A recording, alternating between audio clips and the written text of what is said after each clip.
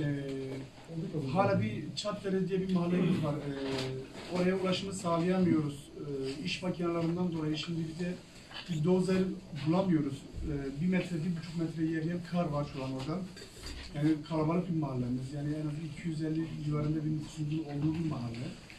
Ee, şu an yani kendi imkanlarımızla işte kü- küçük iş makineleriyle biz ilerlemeye çalışıyoruz ama ilerleyemiyoruz. İlerleyemiyoruz. Ee, cenazelerin hepsini def ettik. Ee, Adıyaman'dakiler tabii daha şey, daha def ettik. Ee, çok zor durumdayız yani Ee, ama maalesef e, devlet yetkililerine ya da ilgili kurumlarından daha biri çıkıp da gelip burada yayla falan ne durumda? Siz ne yapıyorsunuz? Ya insanlar nerede kalıyor? Geceyi nerede geçiriyorlar? Daha soran yok. Arayan da soran da yok efendim. Malzemesi yok, tuvalet yok, hiçbir şey yok. Millete çadır yok. Devlet aradan çekilsin bu halk birlikte ayağa kalkmasını bilir.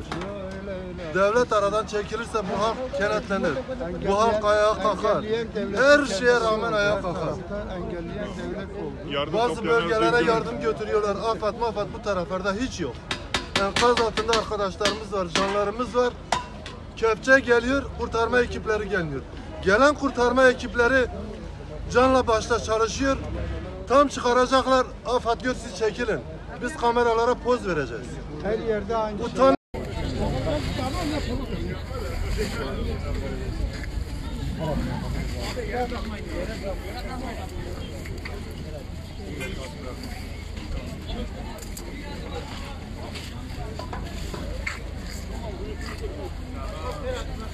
Merhaba kafamla kaldır lan.